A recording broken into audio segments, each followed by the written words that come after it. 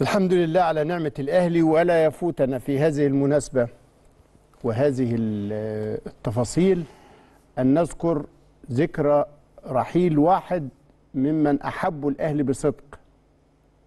واحد عاش ثابتا على مبادئ الأهلي ومات بطلا في ملعب الأهلي الراحل العظيم الكابتن ثابت البطل. ألف رحمة ونور على روح ثابت البطل الطيبة الطاهرة. ثابت البطل يا جماعة واحد من اللي أحبوا الأهلي بجدعنة. أحبوه برجولة. أحبوه بصدق. أحبوه بوضوح. كل سمات الشخصية ال- الواضحة الصريحة الدغري الجادة الشجاعة كانت في شخصية الكابتن ثابت البطل. غدا تحل ذكرى رحيله ويرحل في عيد الحب. لأنه أحب الأهلي بصدق. كابتن ثابت البطل قبل ما المهندس عدلي يتكلم عنه هقول لكم سريعا. هو من مواليد 16 9 53 توفي فجر الاثنين 14 فبراير 2005 متأثرا بمرض سرطان البنكرياس. انضم للنادي الأهلي عام 72 عن طريق الكشاف الشهير عبد البقال وبدأ تمثيل الأهلي رسميا في عام 74 ضمن جيل التلامذة التاريخي لغاية لما اعتزل في 91 لم يرتدي غير فانيلة الأهلي. خاض ثابت البطل بفانيلة الأهلي 225 مباراة محلية وساهم مع الأهلي في إحراز بطولة الدوري 11 مرة وست ألقاب لكأس مصر وست ألقاب قارية. على الصعيد الدولي دافع ثابت البطل عن شعار المنتخب القومي في 60 مباراة وساهم في وصول المنتخب لدولة الألعاب الأولمبية مرتين لكن لم ينل شرف المشاركة في الأولمبياد لسوء الحظ.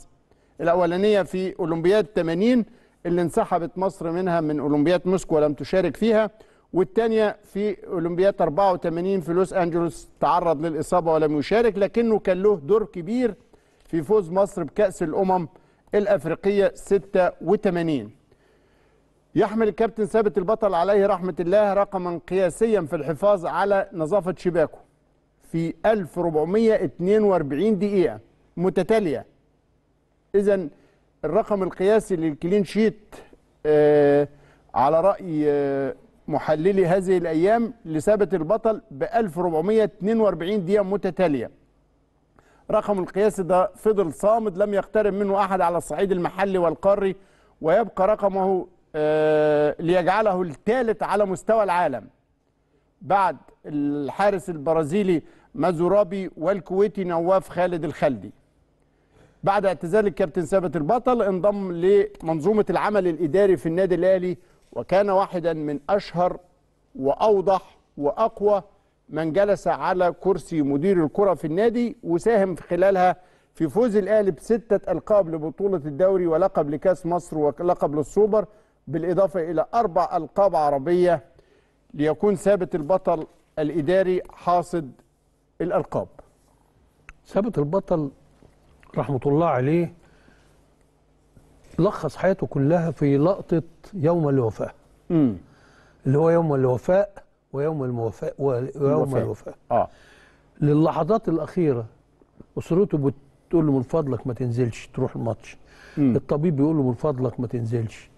آه المستر مارك جوسيه مشفق عليه جدا ولكنه أصر وكان يشعر أنه في اللقطة دي.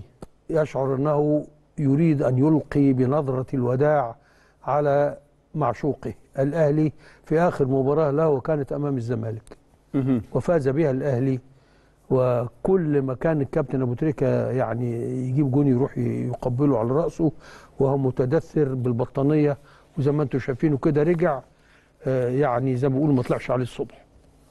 آه، ثابت البطل كان شخصية فريدة في كل شيء فريد إن هو راجل. الكلمة دي بتلخص كل حاجة. مش بس في ان هو يعني مظهره الجد ولا بس إنه هو يعني تحمل المسؤولية ولكن آه، في مواقفه. في آه، الرجولة يا أستاذ إبراهيم آه، بيلخصوها في إنك تبقى عندك شجاعة عندك مواجهة ما عندكش لؤم ولا كذب ولا نفاق. في نفس الوقت يعني تحمل المسؤولية. كل دي كانت صفات موجودة في الكابتن ثابت ثابت. والعجيب والمدهش إن ده كان يترجم في ال style الفريد الذي لم آه، يقلد به أحد ولم يقلده أحد ولم يلعب ثابت البطل آه، آه، في حراسة المرمى ما شفناش لحد قبليه ولا حد بعديه بال style ده. ثابت البطل كان يتحرك. للكرة وأكن أكن الكرة سهلة كل الكور سهلة. خطوة يعمل لك كده خطوة يعمل لك كده خطوة يعمل قلما ما كان إن هو يندفع ويطير ويعمل آه، يعني آه، يعني style. style. آه لا كان بيبسط لك حراسة المرمى بالذكاء آه. والتوقع وحسن زي ما بيقولوا التمركز. عنده موهبة فريدة كان في هذا الشأن. فهو كان كان يونيك فريد في كل شيء وكان يستحق هذه الميتة التي يعني يغبط عليها كل الاهلاويه.